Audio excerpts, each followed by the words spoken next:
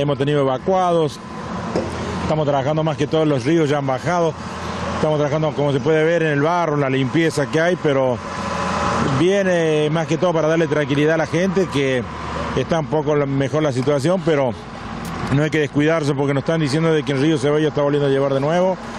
Y eso estamos calculando que desde las 7, 7 y media de la tarde puede llegar un, poquito más de crecida, pero lo importante ahora es que estamos tratando de limpiar para que el agua si llega a venir pase y no tenga toda la basura que tiene que tener para que entorpezca un poco la, corriente del agua. El intendente de Villa Allende trabajó durante toda la noche para ayudar a los más damnificados. Agradeció la buena predisposición del gobernador Juan Schiaretti y reconoció que el presidente Mauricio Macri lo llamó por teléfono ante esta situación.